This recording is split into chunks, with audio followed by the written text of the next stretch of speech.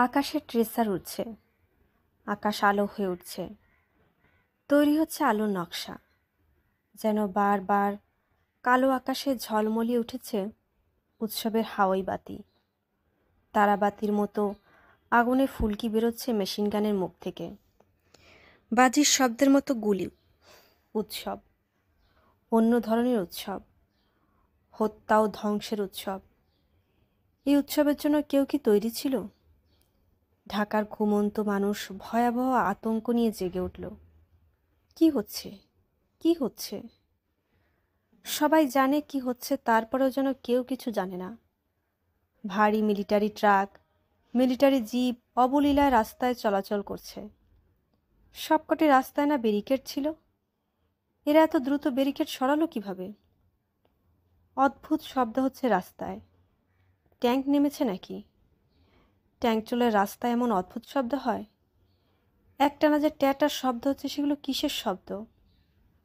তার চেয়েও বিচিত্র আর এক ধরনের শব্দ হচ্ছে, শো শো হুস হুই। ভয় এবং কৌতূহল বোধ হয় পাশাপাশি চলে।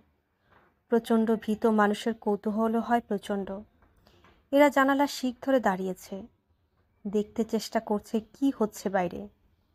কেউ কেউ চলে এসেছে বারান্দায়। চোখের সামনে ভয়াবহ ধ্বংসযজ্ঞ দেখার আলাদা মাদকতা আছে। কিছুক্ষণের মধ্যেই এক ধরনের ঘোর তৈরি হয়। মাথার ভেতরে জগা খিচুড়ির মতো কিছু হয়। যখন মানুষ যুক্তি দিয়ে ব্যাখ্যা করা যায় না এমন সব কাণ্ড করে। এই জাতীয় কাণ্ড কিছু শুরু হলো। কিছু কিছু নিতান্তই নিরীহ ছাপোষা ধরনের মানুষ জয় বাংলা জয় বাংলা বলে গলা ফাটিয়ে চেঁচালো। দীর্ঘ আন্দোলনে এদের কেউ হয়তো কোনো দিন রাজপথে নামেনি, কোনো স্লোগান দেয়নি। অফিসে গিয়েছে, অফিস থেকে ফেরার পথে বাজার করে নিয়ে এসেছে। চটে ব্যাগের ভেতর থেকে উকি দিয়েছে একটা লাউ, ইলিশ মাছের লেজ। আজ হঠাৎ তাদের কি হয়ে গেল? ভীত মানুষের কান্না ও চিৎকার শোনা যেতে শুরু করল। তারও কিছু পরে। আকাশে তখন ট্রেসারের সংখ্যা কমে এসেছে, কারণ তার প্রয়োজন নেই। সারা শহর এখন আলোকিত। অসংখ্য জায়গায় আগুন জ্বলছে। কুণ্ডুলি পাকিয়ে উঠছে কালো ধোয়া। আগে সারা শহরে একসঙ্গে গুলি হচ্ছিল, এখন তা হচ্ছে না। গুলি হচ্ছে অঞ্চল বিশেষে। টেলিফোন কাজ করছে না। রাস্তা শুধু যে জনশূন্য তাই নয়, প্রথমবারের মতো কুকুর শূন্য। কোথায় কি হচ্ছে কেউ জানতে পারছে না। বঙ্গবন্ধু শেখ মুজিবুর রহমানের কি হলো? তার আঙুলের ইশারায় দেশ চলছিল। এখন তিনি কিছু বলছেন না কেন? ইয়াহিয়ার সঙ্গে শেষ বৈঠকের আগে সাংবাদিকদের বলেছিলেন, ভালো কিছু আশা করছি। খারাপ কিছুর জন্য প্রস্তুত আছি। কোথায় তার প্রস্তুতি? নাকি যুদ্ধ শুরু হয়েছে? কেউ কিছু জানে না। একদল মিলিটারি ঢুকে পড়ল বিশ্ববিদ্যালয় এলাকায়। তাদের হাতে শিক্ষকদের তালিকা। তারা মানুষ না, তারা সাক্ষাৎ আজরাইল। মানুষের বেশে যান কবচ করতে এসেছে। এটা কার বাড়ি? জগন্নাথ হলের প্রবোস্ট হিন্দু মালাউন? বদমাস্টার নাম কি? জ্যোতির্ময় গুহ ঠাকুরতা? মিলিটারি লেফটেন্যান্ট বাড়িতে ঢুকে পড়ল। জুয়ানরা বাড়ি ঘিরে আছে। হতভম্ব জ্যোতির্ময় গুহ ঠাকুরতা অবাক হয়ে তাকিয়ে আছেন आप प्रोफेसर साहब है यस आपको ले जाएगा হোয়াই হোয়াই প্রশ্নের জবাব দেওয়ার সময় নেই তাকে টেনে নিয়ে যাওয়া হচ্ছে তার স্ত্রী বাসন্তী গুহ ঠাকুরতা তার অতি আদরের কন্যা দোলা তখনও বুঝতে পারছে না কি হচ্ছে জিজ্ঞাসাবাদ করার জন্য নিয়ে যাচ্ছে এর বেশি কি হবে খালি পায়ে স্বামীকে নিয়ে যাবে বাসন্তী গুহ ঠাকুরতা দৌড়ে ঘরে ঢুকলেন স্যান্ডেল আনতে। এর মধ্যে জ্যোতির্ময় গুহ ঠাকুরতাকে বাইরে নিয়ে গুলি করা হয়েছে। তাদের বসার ঘরের সঙ্গে চিত হয়ে পড়ে আছে ডক্টর মনিরুজ্জামানের মৃতদেহ। একটু দূরে আরও তিনজন। একজন ক্ষীণ স্বরে বলছে, পানি পানি। মারা গেলেন দার্শনিক আত্মভোলা অধ্যাপক doctor CG Dev. CG Dev মৃত্যুর আগে প্রায় হাসি মুখে বললেন, আমি হিন্দু। আমার বাড়িতে যারা আছে সবাই হিন্দু। তিনি হয়তো ভাবলেন, সংখ্যালঘু হিন্দুদের প্রতি কোনো অত্যাচার করা হবে না। কিংবা অন্য কিছু তখন তার মাথায় খেলা করছিল। মারা গেলেন মৃত্তিকা বিজ্ঞান বিভাগের অধ্যাপক ডক্টর ফজলুর রহমান। ফলিত পদার্থবিদ্যার অধ্যাপক অনুদৈপায়ন ভট্টাচার্য। পরিসংখ্যান বিভাগের প্রধান ডক্টর মনিরুজ্জামান। ভূতত্ত্ব বিভাগের অধ্যাপক মোহাম্মদ আব্দুল মুক্তাদির। অঙ্ক বিভাগের অধ্যাপক শরাফত আলী। পদার্থ বিভাগের অধ্যাপক এম আর খান খাদিম। শিক্ষা ও গবেষণা ইনস্টিটিউটের শিক্ষক মোহাম্মদ সাদিক ও ডক্টর মোহাম্মদ সাদত আলী। মিলিটারিরা ঢুকে পড়ল ইকবাল হল এবং জগন্নাথ হলে। তাদের পরিকল্পনা একটি ছাত্র যেন জীবিত বের হয়ে যেতে না পারে। তোমাদের জয় বাংলা অনেক সহ্য করেছে আর না রোকেয়া হল এবং শামসুন্নাহার হল, মেয়েদের দুটি হল। হলের মেয়েরা আতঙ্কে অস্থির হয়ে দেখল, গেট ভেঙে মিলিটারিরা ঢুকছে। আমাদের বাঁচাও বলে চিৎকার করার মতো মানসিক শক্তিও তাদের রইল না। তারা দেখল পাকিস্তানি জওয়ানরা মার্চ করে হলের দিকে এগোচ্ছে। সেনাবাহিনী আগুন জ্বালিয়ে দেয়। ইত্তেফাক অফিসে। দাও দাও করে আগুন জ্বলতে থাকে দি পিপলস গণবাংলা এবং সংবাদ অফিসে। আত্মনিমগ্ন কবি শহীদ সাহেবের সংবাদ অফিসেই ঘুমাতেন। সংবাদ অফিসে ছিল তার ঘর বাড়ি তিনি জীবন্ত দগ্ধ হয়ে মারা গেলেন সংবাদ অফিসে। পাকিস্তান মিলিটারি রাত একটায় যে অপারেশন শুরু করে, তার নাম অপারেশন সার্চলাইট। ব্রিগেডিয়ার আরবাবের সাতান্ন ব্রিগেড ছিল ঢাকা অপারেশনের দায়িত্বে। অধিনায়ক মেজর জেনারেল ফরমান আলী, তিনি সায়স্তা করবেন ঢাকা নগরী। মেজর জেনারেল খাদেমের উপর দায়িত্ব পড়ল ঢাকা ছাড়া বাকি দেশ সায়স্তা করার। ব্রিগেডিয়ার আরবাব আঠারো পাঞ্জাব, বাইশ বেলুচ এবং বত্রিশ পাঞ্জাবের যৌথ দলকে লেলিয়ে দিল বিশ্ববিদ্যালয় এলাকায়। বত্রিশ পাঞ্জাব রেজিমেন্টকে পাঠালো রাজারবাগের এক হাজার পুলিশকে জন্মের শিক্ষা দিবার জন্য। পুরনো ঢাকার গাদারদের সায়স্তা করবে আঠারো পাঞ্জাব।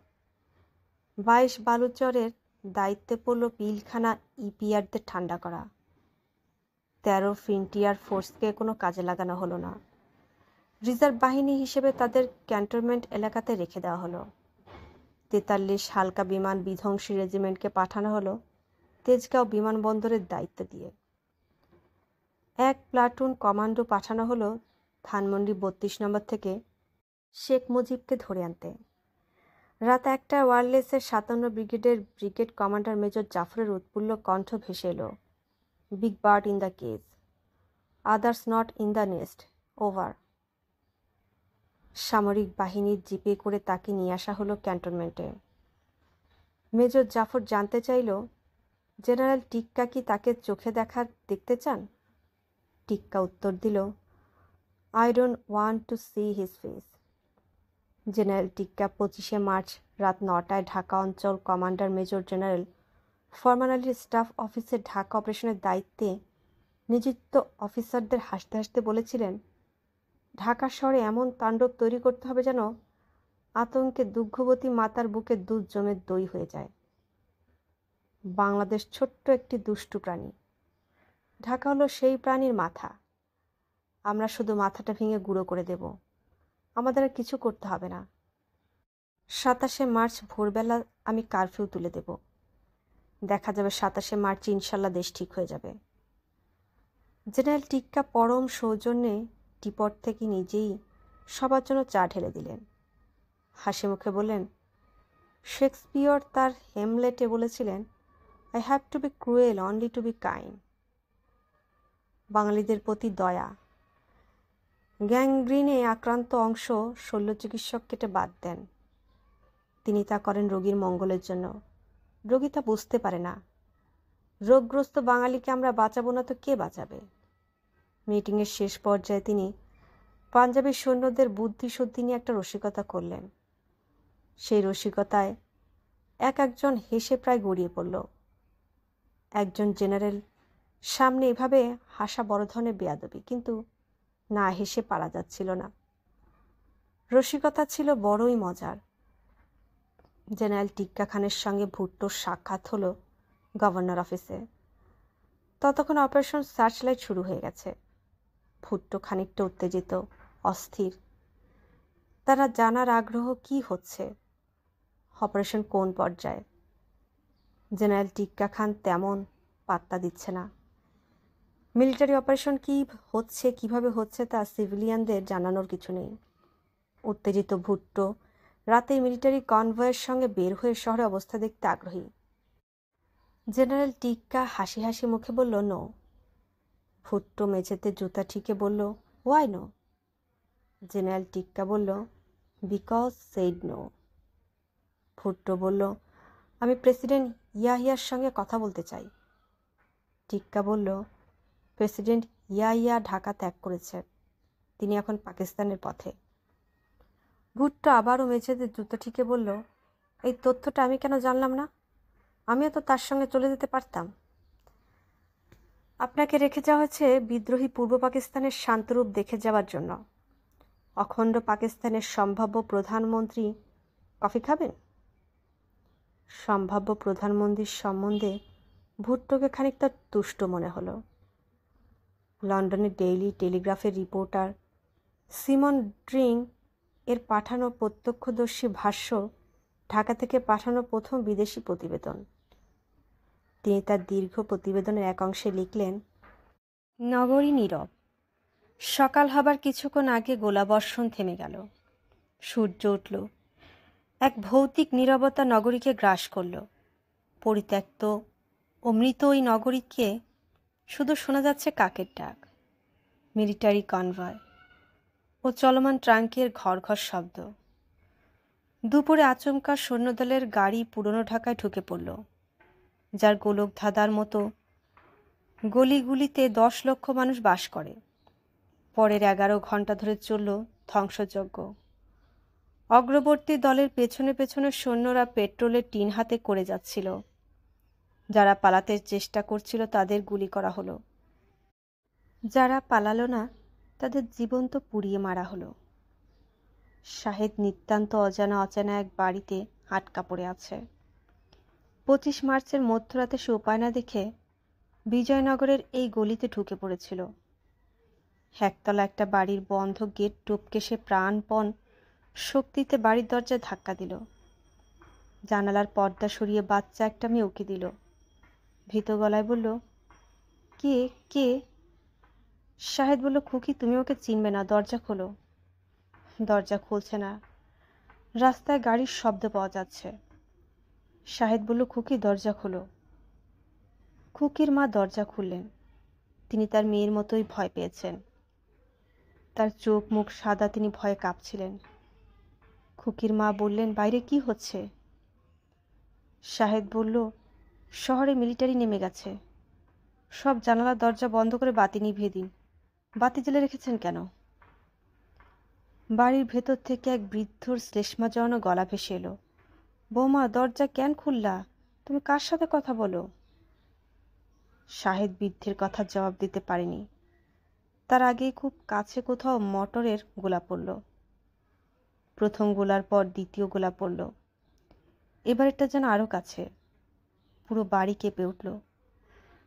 বসার ঘরের দেওয়ালে ঝুলানো বাঁধানো সব কাটা ছবি খুলে পড়ে গেল। ছনছন শব্দ হতেই থাকল। কারেন্ট চলে গিয়ে বাড়ি অন্ধকার হয়ে গেল।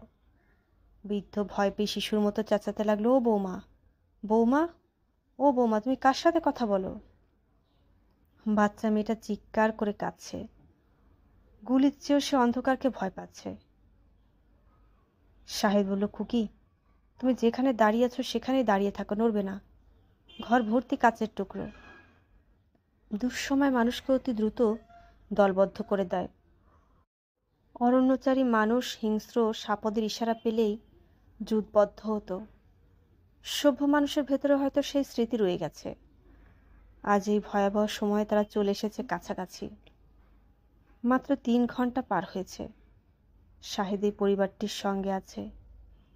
এই তিন ঘণ্টা নিজেকে সেই পরিবারের একজন সদস্য বলেই মনে করছে। ঢাকা কলেজের ইংরেজির অধ্যাপক সানাউল্লাহ সাহেবের স্ত্রীকে তার নিজের ছোট বোনের মতোই মনে হচ্ছে। সানাউল্লাহ সাহেবের বাবাকে সে ডাকছে চাচা যান। সানাউল্লাহ সাহেবের মেয়েটি সারাক্ষণ তার আঙুল ধরে আছে। মেয়েটির নাম কঙ্কন। সে কঙ্কন বলতে পারে না। নাম জিজ্ঞেস করলে বলে কখন মেয়েটির বয়স পাঁচের কাছাকাছি। এই বয়সে অনুস্বরের উচ্চারণ আয়ত্তে এসে যাওয়া উচিত। মেয়েটি মনে হয় কথা বলায় পিছিয়ে আছে। শাহেদ নিতান্তই অপরিচিত একজন, তারপরেও যে সানাউল্লাহ সাহেবের শোবার ঘরের খাটে অন্য সবার সঙ্গে বসে আছে। কঙ্কনের মায়ের নাম এখনও জানা যায়নি। তার শ্বশুর তাকে মানু ডাকছেন। মানু নিশ্চয়ই তার নাম না। বড় নাম ভেঙে আদর করে তিনি হয়তো পুত্রবধূকে ছোট নামে ডাকেন।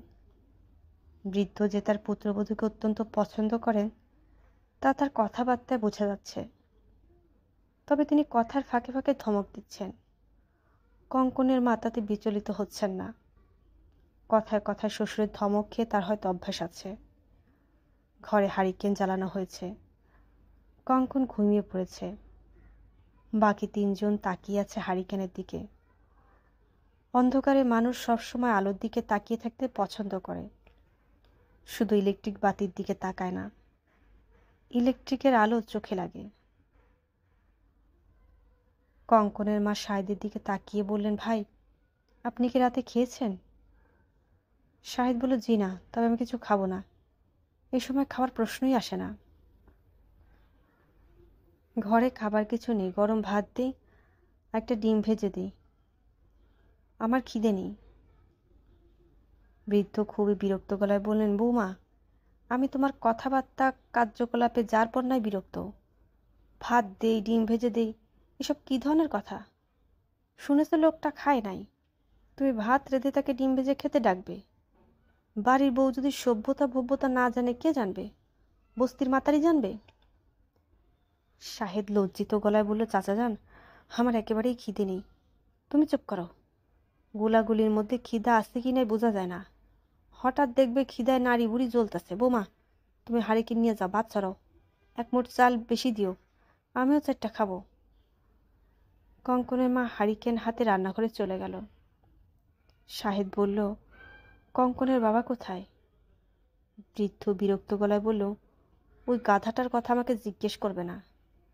গাধাটার কথা জিজ্ঞেস করলেই চরাত করে মাথায় রক্ত উঠে যাবে। গাধা গেছে বরিশাল। আমি তাকে বললাম, দেশের অবস্থা ভালো না। এই সময় কোথাও যাবার দরকার নাই, তবু সে গেল। কোনো জরুরি কাজে গেছেন? অত্যন্ত জরুরি কাজে গেছে। বন্ধুর বিয়েতে গেছে। আরে গাধা, তোর নিজের পরিবারের নিরাপত্তার চেয়ে বন্ধুর বিয়ে বড় হয়ে গেল? তোর বউ, মেয়ে, বৃদ্ধ বাবা, এগুলা কিছু না? বৌমা বলতে গেলে বাচ্চা একটা মেয়ে। আমি প্রায় পঙ্গু। তুই বসে বসে কোরমা গালিয়া খাচ্ছিস, আর আমরা খাচ্ছি গুলি। কাণ্ডজ্ঞানহীন, শাখামৃগ। তাকে বললাম ট্রানজিস্টারে ব্যাটারি শেষ। ব্যাটারি কিনে দিয়ে যা। সে বলল, জি আচ্ছা বাবা। কিনে দিয়ে গেছে ব্যাটারি? না। উনি ভুলে গেছেন। উনি সব কিছু ভুলে যান। শুধু বন্ধুর বিয়ে মনে থাকে। খা বেটা, বিয়ে খা। বৃদ্ধ হঠাৎ চুপ করে গেলেন। খুব কাছে গুলির শব্দ হচ্ছে। মানুষের চিৎকার, হইচই শোনা যাচ্ছে। বৃদ্ধ আতঙ্কিত গলায় বললেন, বৌমা হারিকে নিভিয়ে দাও, হারিকে নিভিয়ে দাও। কঙ্কনের ঘুম ভেঙে গেছে। সে ভয় পেয়ে কাঁদতে শুরু করেছে। বৃদ্ধ বললেন, শাহেদ, মেয়েটার কান্না থামাও। কান্নার শব্দ শুনে মিলিটারি এদিকে চলে আসতে পারে, ওর মুখটা চেপে ধরো। রাত বাজছে তিনটা পঁচিশ। কিছুক্ষণের জন্য গোলাগুলি বন্ধ ছিল। আবার শুরু হয়েছে। প্রবলভাবেই শুরু হয়েছে। মরিয়ামের ঘরের দরজা জানলা বন্ধ। টেবিলে মোমবাতি জ্বলছে। মোমবাতি আলোয় খেতে বসেছে নাইমুল। সে খুব আগ্রহ করে খাচ্ছে। তার জন্য আগ্রহ করে তার খাওয়া দেখছে মরিয়ম। তার শুধু একটাই কষ্ট। নাইমুল খেতে বসে কাঁচামরিচ চেয়েছিল। মরিয়ম কাঁচামরিচ দিতে পারেনি, ঘরে ছিল না। সে ঠিক করে রেখেছে, এরপর থেকে সে নিজের দায়িত্বে কাঁচামরিচ কিনে রাখবে। নাইমুল খেতে বসে কাঁচামরিচ চায়। মরিয়ম বলল, খেতে ভালো হয়েছে?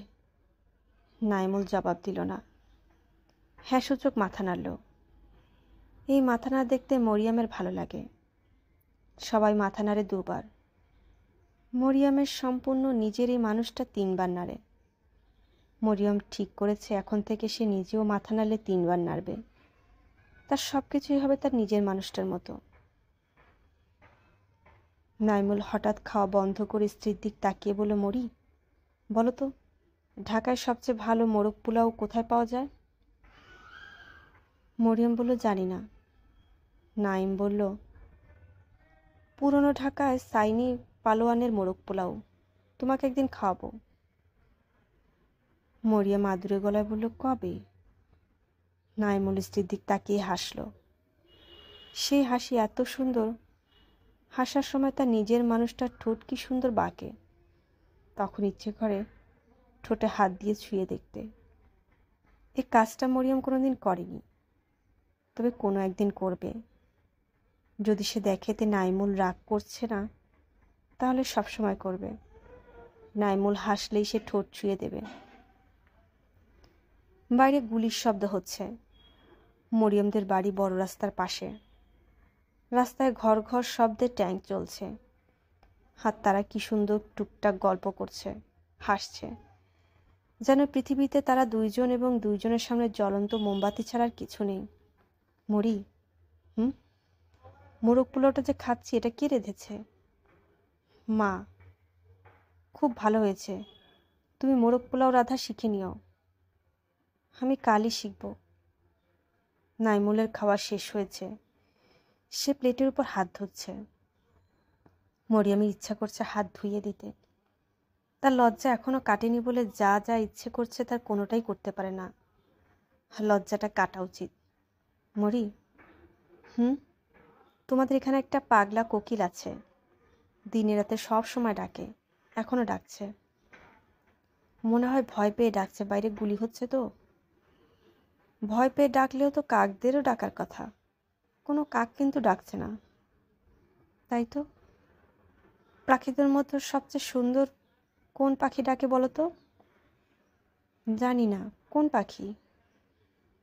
চোখ গেল পাখি। তুমি চোখ গেল পাখির ডাক শুনেছ? শুনেছি। চোখ গেল পাখির হিন্দি নাম কি বলতে পারো? জানি না। পিহু কাহা। পিহু কাহা তো শুনেছি। এটা যে চোখ গেল পাখি, তা জানতাম না। ইংরেজিতে এই পাখিকে কি বলে জানো? না, ইংরেজিতে বলে ব্রেইন ফিভার। এত কুৎসিত নাম। কুৎসিত তো বটেই। মরি তোমার গরম লাগছে না? লাগছে। একটা কাজ করলে কিন্তু গরমটা কম লাগবে। কি কাজ? শাড়ি খুলে ফেলো। মরিয়ম লজ্জায় বেগুনি হয়ে গেল। নাইমুল বলল, আমার সামনে লজ্জা কিসের? মরিয়ম অন্যদিকে তাকিয়ে বলল, আগে মোমবাতি নিভাও। নাইমুল বলল, তা হবে না। মোমবাতি জ্বালানো থাকবে। এক এক আলোয় মানুষের শরীর এক এক রকম দেখায়। ইলেকট্রিক আলোয় একরকম মোমবাতির আলোয় আর এক রকম, আবার মশলার আলোয় সম্পূর্ণ অন্যরকম আমি দেখতে চাই মোমবাতির আলোয় নগ্ন মরিয়মকে কেমন দেখায়। আমি পারব না। আগে মোমবাতি নিভাও। নাইমুল মোমবাতি নিভালো না। মরিয়মের শরীর ঝনঝন করছে। শরীরের প্রতিটি কোষে সাড়া পড়ে গেছে। তারা জেনে গেছে কিছুক্ষণের মধ্যেই ভয়ঙ্কর আনন্দের ঘটনা ঘটবে। মরিয়ম কাঁদো কাঁদো গলায় বলল বাতি নেভাও তোমার দোহাই লাগে। নাইমুল বলল, না। বলেই হাসলো। মরিয়মের মনে হলো, বাতি না নিভিয়ে ভালোই হয়েছে। বাতি নিভিয়ে ফেললে এত সুন্দর হাসি দেখা যেত না। মরিয়ম হাত বাড়িয়ে নাইমুলের ঠোঁট স্পর্শ করল।